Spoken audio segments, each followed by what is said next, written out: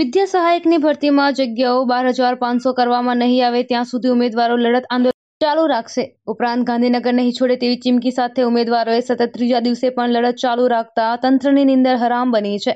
રાજ્યભરની પ્રાથમિક શાળાઓમાં અઢાર હજારથી વધુ શિક્ષકોની જગ્યાઓ ખાલી હોવા છતાં તેની સામે સાહીઠ ટકા જગ્યાઓ ભરવાનો ફરજિયાત શિક્ષણના કાયદામાં જોગવાઈ કરી છે. તેમ છતાં, રાજ્યના શિક્ષણ વિભાગ દ્વારા પ્રાથમિક શાળાઓમાં ત્રણ હજાર ત્રણસો વિદ્યા સહાયકોની ભરતીની જાહેરાત કરી છે, જેને પરિણામે વિદ્યા સહાયક ઉમેદવારોમાં રોષ ઉઠવા પામ્યો છે. વિદ્યા સહાયકની ભરતીની જગ્યાએ બાર હજાર પાંચસો કરવાની માંગણી સાથે ઉમેદવારોએ લડત આંદોલન તેજ કર્યું છે. વિદ્યા સહાયકના ઉમેદવારોએ પ્રથમ દિવસે ભાજપ પ્રદેશ અધ્યક્ષ સી આર પાટીલને આવેદનપત્ર આપ્યા હતા. ત્યારબાદ બીજા દિવસે જિલ્લા કલેક્ટરને આવેદનપત્ર આપીને વિદ્યા સહાયકની જગ્યાઓ વધારવાની માંગણી કરી હતી. જ્યારે વિદ્યા સહાયક ઉમેદવારોની લડતના ભાગરૂપે ત્રીજા દિવસે પણ ગાંધીનગરમાં અડિંગા જમાવ્યા છે.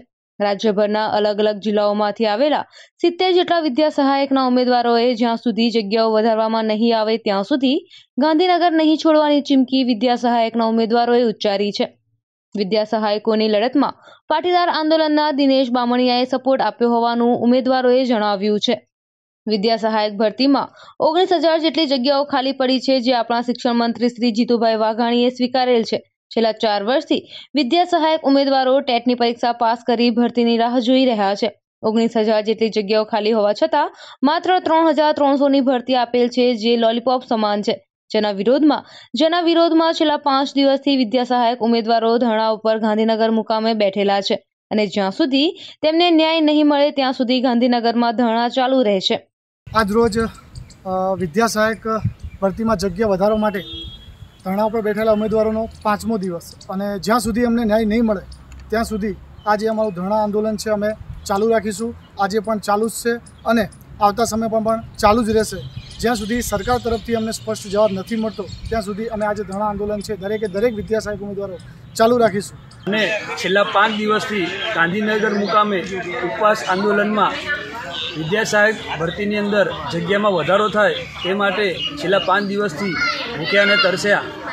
ભૂખ હડતાલ ઉપર બેઠા છીએ માટે મારા દર્દી સમાજના સક્રિય આગેવાનો મને મદદ કરે તેવી આશા રાખું છું. મારો મોબાઈલ નંબર નવ્વાણું જીરો છેતાલીસ પંચાવન જીરો પિસ્તાલીસ છે.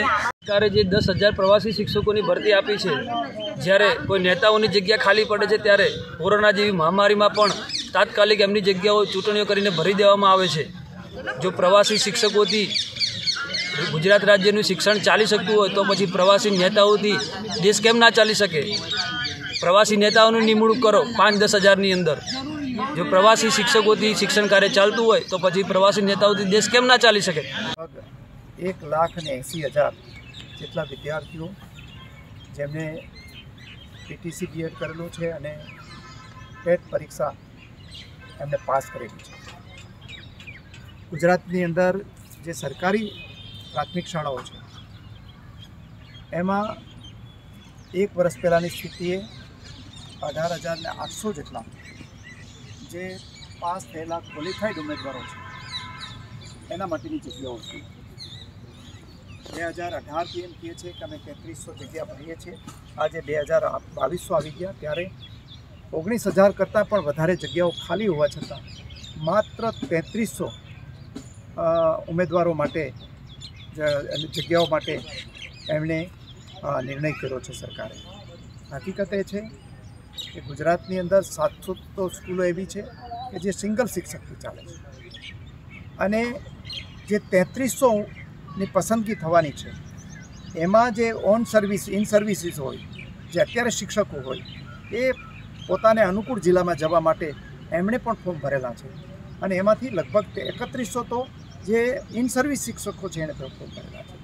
એટલે જે નવા યુવાન યુવતીઓ જે છે, જે વર્ષોથી શિક્ષકની ભરતી થશે ને એમાં પોતાનો વારો આવશે, એની રાહ જોઈને બેઠા છે, એને ભયંકર હતાશા છે એમાં અને એ હતાશાને કારણે માનસિક પરિસ્થિતિ પણ ખરાબ છે, આર્થિક સ્થિતિ પણ ખરાબ છે. ત્યારે મારી રાજ્ય સરકારને વિનંતી છે કે નિયમો મુજબ જે ઓગણીસ હજાર જેટલા શિક્ષકો ભરવાની છે, એ પ્રક્રિયા શરૂ કરે.